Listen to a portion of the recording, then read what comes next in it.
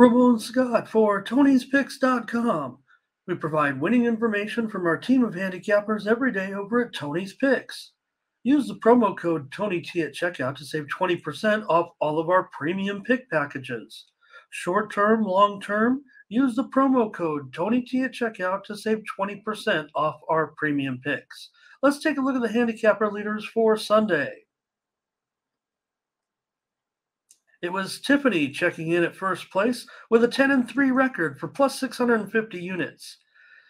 Second place was Nick, 4 and 1 record for plus 350 units. Mindy Hahn came in with a 10 and 7 day for plus 260 units.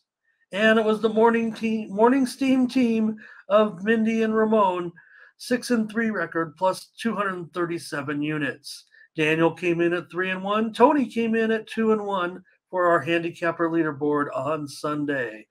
For the week, Mindy remains on top, having a great week over the last seven days, plus 1,031 units. Collins and Daniel also having a very good week. Visit Tony'sPicks.com for our premium picks, our best picks every day over at Tony'sPicks.com. Your free pick for Monday comes to us in college basketball, where I'm looking to go with Nebraska Omaha over Denver. Omaha is going to be about a one point underdog or about a pick 'em here. I like Nebraska Omaha. They've covered four out of the last five meetings against Denver.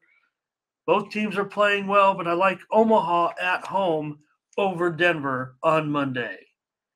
For Tony'sPicks.com, I'm Ramon Scott.